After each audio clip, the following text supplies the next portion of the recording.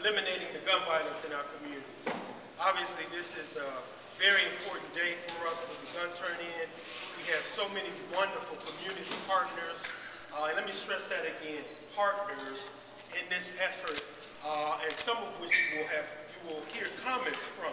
So I'm going to keep my comments uh, very short, but I would like to take the time to acknowledge some very important parents that are representing parents all across the city that have lost loved ones to gun violence, and they see the importance of having this as one important effort to support the comprehensive ways that we try to eliminate gun violence uh, in our cities. So if you would just please allow me to read the names of these individuals. We have Annette and Ron Holt, uh, the parents of Blair that are here. We have Pam and uh, Tom Bosley, the parents of Terrell Bosley. Josephine Williams, Anthony, uh, who lost her son Anthony Williams. Maria Ramirez, who lost her son as well, who's here. Matthew, I'm sorry. We have Jackie Algie, who lost her son, Kenneth. Alicia Hudson, who lost her son, Dariel. Denise Reed, who lost her daughter, Starkeisha. I apologize, I have some of the names. Tanya Birch, who lost her son, Deontay Smith. Miss Alice Norris, who lost her daughter, Rolanda Marshall. We think it's very important that we take time to acknowledge these parents because at its core, if you need to speak to someone in terms of the importance of today, we encourage you to make sure you speak to them, okay? Um, quickly, I'd like to also acknowledge a couple of organizations that are so uh, important to us and that have joined us today. We have uh, Purpose Over Pain. Some of the parents are here, are uh, members of, of that advocacy group. We have Hope Beyond Conviction, No Guns, No Violence.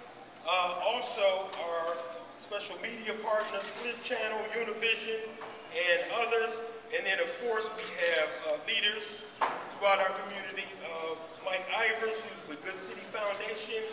And I'd like to acknowledge uh, our city officials who are so important, uh, Chris Millette with the mayor's office, and also Vance Henry, who's here with us from the mayor's office. So thank you so much.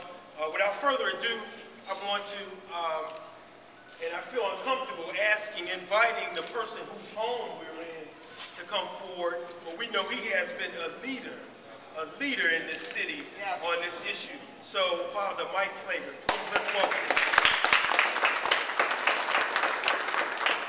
Thank you, Bill. Uh, first, let me thank the mayor of the city and Superintendent Weis, the police department, for continuing to uh, have this gun turn-in every year and how important it is. I thank them. They're a leading city in this country in terms of having these gun turn-ins. And I know there's a bunch of naysayers that say, well, what does it do with the gun turn-in? Well, 19,000 guns off the streets over the last six years is a lot. Uh, look at uh, look at the Old Navy story yesterday. Look at the Dan Ryan shooting yesterday. Look at I-55. Look at all the shootings that are going on around this country. Guns are a piece of the action. Nobody is saying that's the whole problem. But guess what? When you're angry, if you don't have a gun, you can't use it. When you're depressed and you feel suicidal, if you don't have a gun, you can't kill yourself. So when you are distressed, when you are angry, when you're in a rage, if you don't have a weapon on you, time can pass for you to come to your senses and realize that's not the way to solve your problem. We're in a sad day when the first line of response, of response for us is guns and anger and rage. Yes. Guns are a piece of this problem. You have a dangerous item, you got to not only change the mind, you got to take away the dangerous item.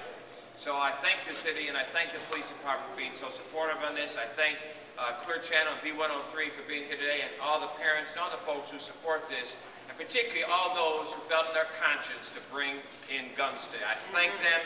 There's still some time left. I hope others will still bring them in. I'd like to bring to you now to speak uh, someone who I have a great deal of respect for. I think he's been a great asset in this city. I think he's done a great job in the city in an impossible times of crime and of violence, but somebody who has all my support and my respect. Please welcome Superintendent Jody Weeks.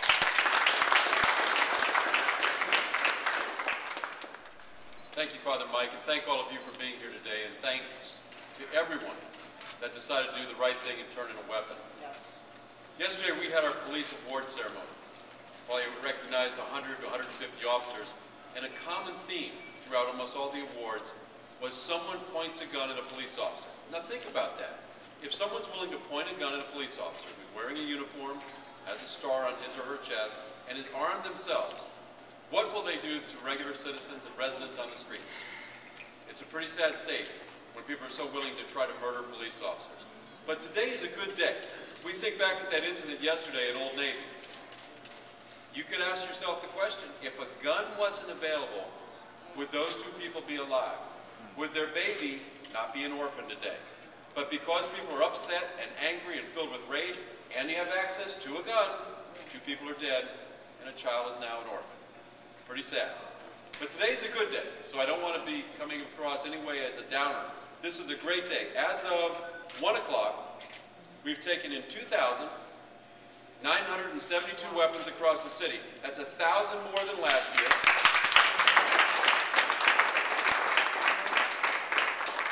And 42 of those weapons are assault rifles. Weapons that fire bullets that'll pierce right through body armor on any police officer in the city. And right here at St. Sabina, 347 weapons have been collected as of 1 o'clock. With 60 assault rifles. And we've still got over three, we got three hours to go. So anyone who's thinking about doing this, please come forward. Uh, no questions asked. It's so important to get the weapons off the street. We've got too many incidents of children playing with guns, and I know that sounds kind of unusual, but playing with guns and a gun goes off and a child is dead. Two lives are lost. This is a great start. There's no room in America for many of these weapons. Assault rifles, they're designed for one thing, to kill human beings. But we don't need to have weapons designed for that in the hands of folks who may not have the emotional maturity, who may be filled with rage, who simply cannot handle having this instrument of death in their hands. So today is a great day. We're bringing in, hopefully we'll get more and more throughout the day. I'd like to thank St. Sabina. I'd like to thank everyone who being involved with this. And I'd like to really thank the heroes behind me who have endured the most painful thing a parent can endure, the loss of a child.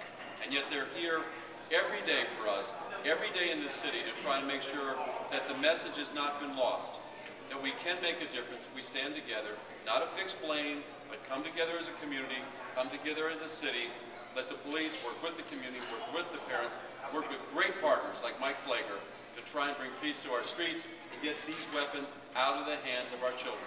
It's, it's been way too long. Thank you.